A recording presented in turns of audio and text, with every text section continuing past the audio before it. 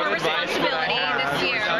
We get to see what she does with that responsibility and if she can handle it. So there's a little more power in those claws. Um, a lot of exciting things happen. A lot. I can't give away too much, but it's a very, very good season. Like she's got maybe a fingernail on the pulse of what's going on. Not the quite, not the whole thing.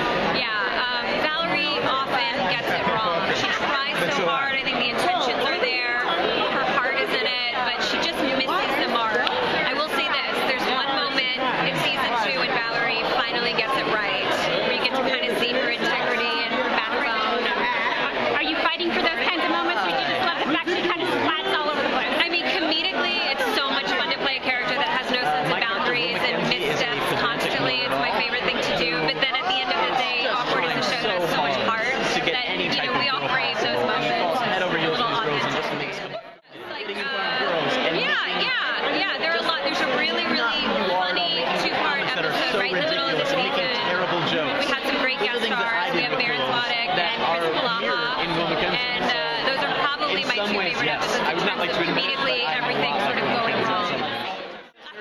Almost everything that's come out of her mouth is the worst advice. Probably to tell her to, to fight with Sadie last season. That probably takes the cake. But she's got some doozy. A lot of terrible advice. Oh, well. Absolutely. And that's, that's why I love the show so much because you know, Valerie gets to